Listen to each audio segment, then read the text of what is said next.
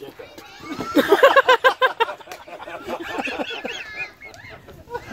you just try to catch it? That was a solid dumb.